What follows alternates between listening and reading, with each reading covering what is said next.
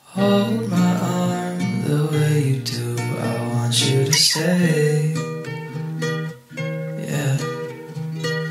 Never mind making you train home. Just stay one more day. Hey.